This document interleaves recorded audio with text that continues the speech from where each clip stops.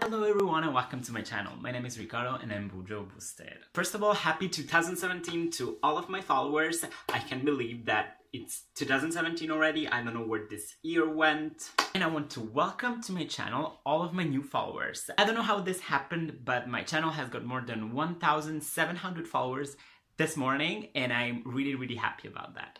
Today I have quite a different uh, video. I've asked you a couple of days ago like a week ago or something to ask me some questions here on YouTube and on Instagram and today I'm going to answer those. I hope that this will work because I'm filming with my phone so I'll be looking at my um, at all the questions on my laptop. Um, let's see what happens. Start with the questions I got on Instagram. So excited because I'm so close uh, to 4,000 followers and it's just mind blowing. The very first question is I know you're a student in Paris, but where do you come from originally? So I've got this questions. So I've got this question several times on here and on YouTube as well. I come from Italy. I'm not Spanish, I'm not Portuguese or Latino. I'm from Italy. I come from Palermo, which is a city in Sicily, and I've been living in France for three years. So that's why you see um, some French in my bullet journal.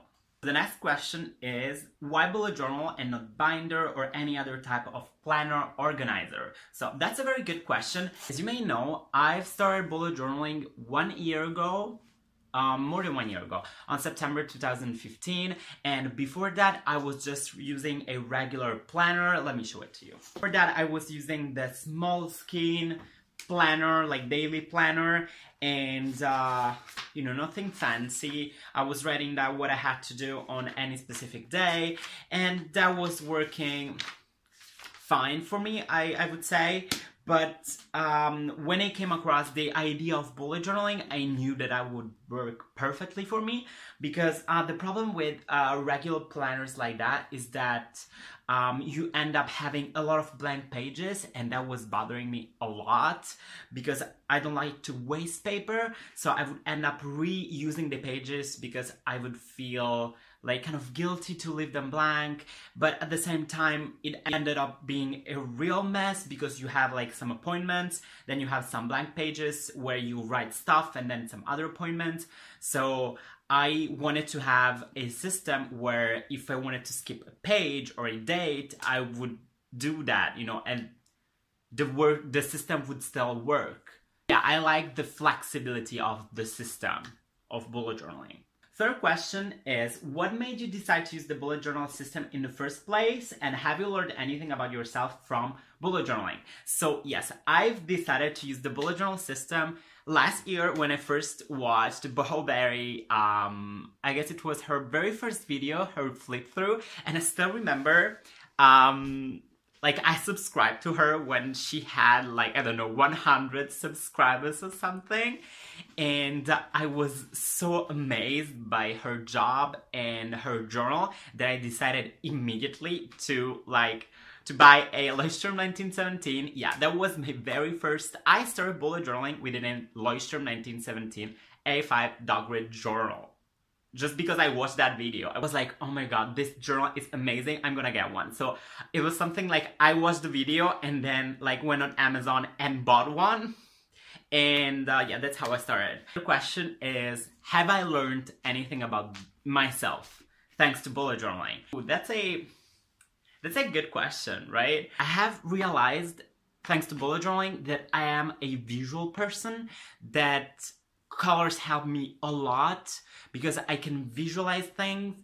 And uh, if I look at my older system I don't know how I actually managed to go through it because I was not using colors. I was not using doodles.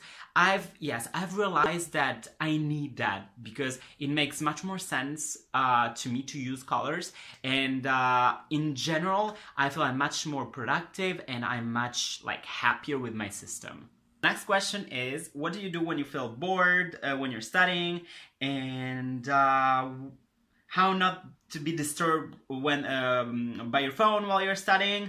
It's too bad I can't show you because I'm filming with my phone, but I've been using uh, recently this app called Forest, which is absolutely amazing. Basically what you do is that you set a timer up and uh, if you reach the end of the timer, a smaller plant will grow in your garden. But if you if you go outside the, the app, if you go on Instagram, on on other apps, that will immediately kill your plant. So this way, it kind of forces you not to look at your phone, and that's been working so, so well for me. If you're using Forest, you can add me, you can leave a message down here so that, you know, we can both add each other. Also, when I feel I'm bored, I've realized that using stationery, using colors, making studying fun helped me a lot especially when I need to go through a very like boring subject and that happens. So next question is, do you have any tips on creating study logs? Also, which notebook brand do you use for your bullet journal? So I use a Leuchtturm 1917 A5 dot grid. I've been using this one since last year. This is my third bullet journal gonna leave a link with the description of this item in the description box below if you want to have more info about it. And for study logs, so right now there is a video on my channel which is about how I use my study log. I'm going to link it uh, right here. I, I actually plan on refilming that video because it's kind of short and it's got some audio problems. So for the moment, you can go uh, check that video out, but there is going to be a new updated version, better version of that video soon. Next question is, have you ever felt stressed while doing tracker? I started tracking productivity and quantity after watching your videos and sometimes I feel so stressed and guilty that the tracker is obviously showing that I'm not doing as good as I wanted. Of course, yes, that happens to me, and I have a really good example. If you've been following me for a while, you know that I used to use a sleeping patterns uh, tracker, and that was working really, really well for me till the moment I realized that I was not using it anymore. So I just stopped using it. I mean, whenever a certain spread or a certain tracker doesn't work for you, you can just, you know, remove it from your from your bullet journal. That's absolutely right. That's why I usually do a revision of the month at the end of the month so that I know what I need to set up on the following month. Some months I may have some specific spreads like the sleeping parents for example or and some other months I may just not use them. So do change the way you organize your bullet journal as you go. If, if there are spreads that you don't use, just skip them or you know, include new spreads. So if you feel stressed about the tracker, well, maybe it's not the right tracker. Maybe you're not tracking the right thing, or maybe, you know, it's just not the right time for you to track things. You know, that happens as well. Let's say you have a really stressful life, you have a lot of things going on right now. You may want to have a, very, a very basic, simple uh, bullet journal and not, you know, a very complicated, full of trackers uh, bullet journal sort of. Also, I've realized that it helps me a lot to write things down when I'm stressed. That's why I have created this spread. Uh, it's really easy what I do is that I just write down when, whenever I feel negative. As you can see here, it says negativity sucks. And it's really easy. You just write down uh, what's going on, why you feel negative, why you feel stressed, and uh, you reread what you've just written. Most of the time, you'll realize that there is a, a very easy solution, or you know, there is nothing you can do at the moment, so you'd better, you know, not focus on that. Do I have any useful study tips? I have a lot of study tips, but I think that that would make a different video. So I'm planning on doing some smaller videos about study tips. I'm right now, I don't really have that much time because I have all of my exams coming up. So I'm working on a sort of a mini series about study tips and I'll let you know, you know, when I'll be done with my exams next week. Okay, now moving on to YouTube. Next question.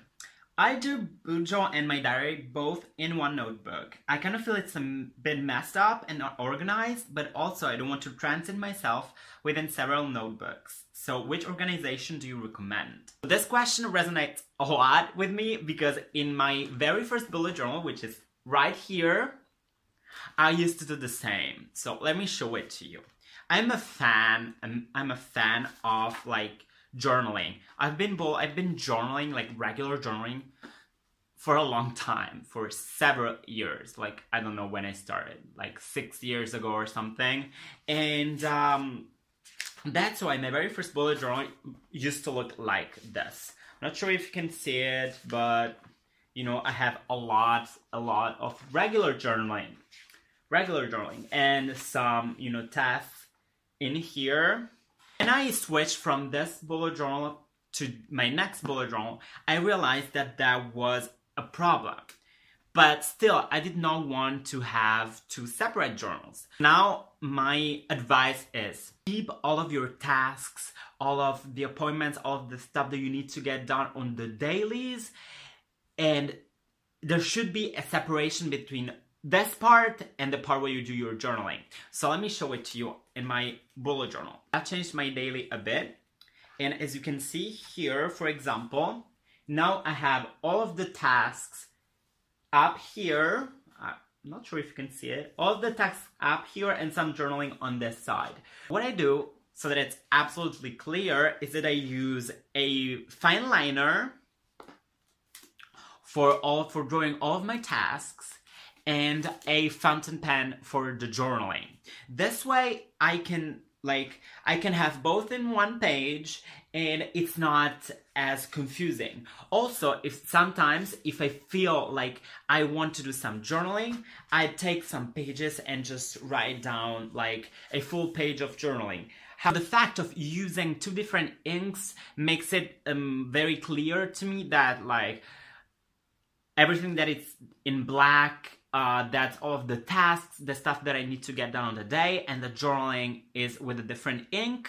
So that may work for you. Or for example, you can have one page where you use the bullet journaling system with the bullets and your tasks, your appointments, and on the other page, you can do your journaling. But The most important thing is that you, you do have like a clear separation between the, the two things you realize that you have to add a task, you really want to add them not after your journaling, but in the section that's for the tasks. Also, for example, you could have uh, a weekly spread where you keep track of all your tasks. You can have you can have a look at all of my different layouts in the video I filmed a couple of weeks ago, or you can have, for example, one page only for all the things that you need to get done on that week and after that your daily journaling. The most important thing is to have a clear separation between regular journaling and the bullets and the tasks and what you need to get done.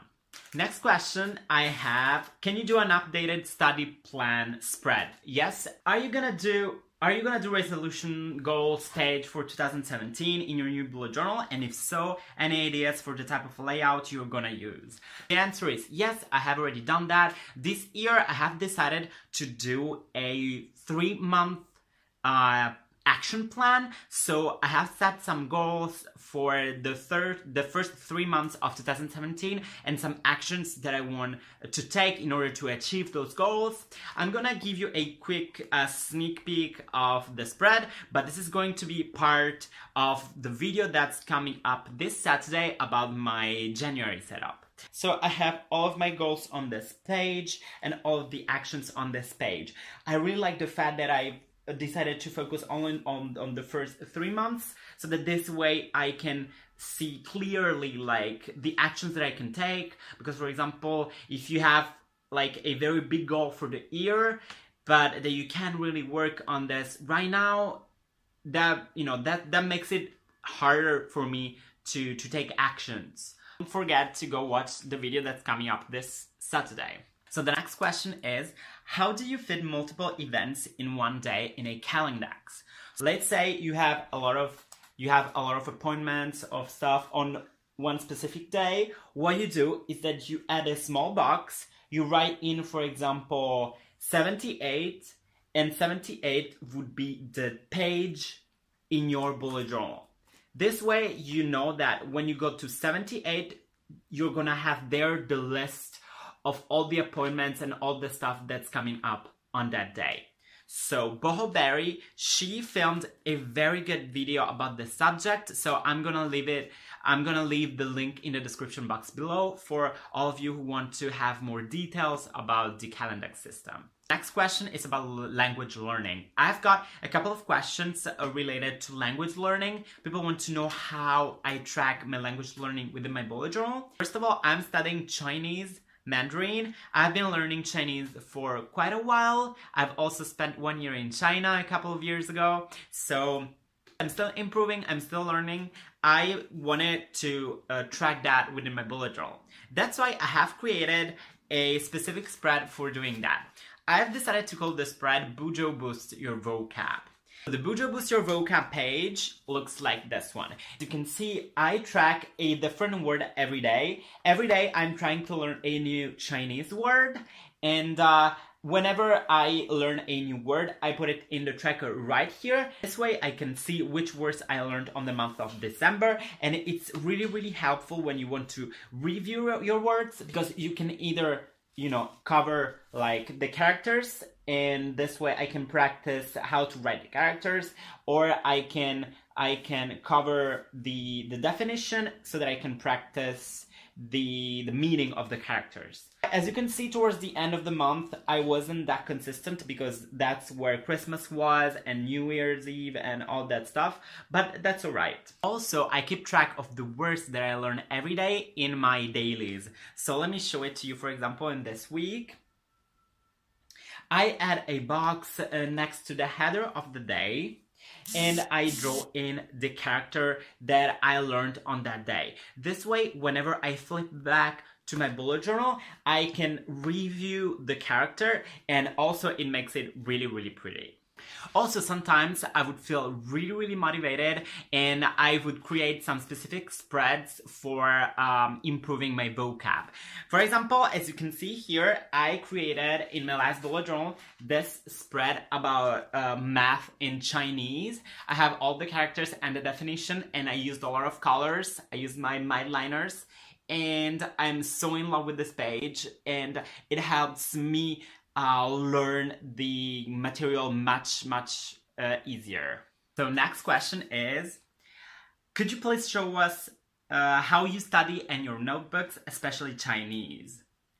I'm curious how you arrange uh, your notebook. As I've said, I'm planning to do a mini A series of smaller videos um, um, about studying so that I can give you some study tips.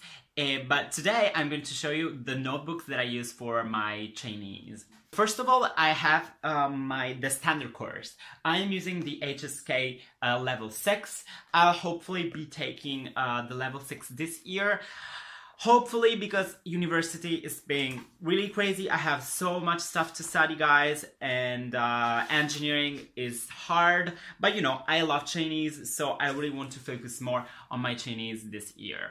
I use two small notebooks. I have this one, this very small notebooks the Shenzhen, which is the one I use for practicing my characters. Uh, I really like this one. I got a ton of those when I was in China this summer, and they're really practical because you can take them uh, with you wherever you are, and you you can you know write down when you have time. You can see you have a part where you write the pinyin up here, then the character. This way you can practice a lot of characters at the same time. You can practice the pinyin and the characters. Also, I use this composition notebook for copying the course. As you can see here, I just rewrite uh, the lesson.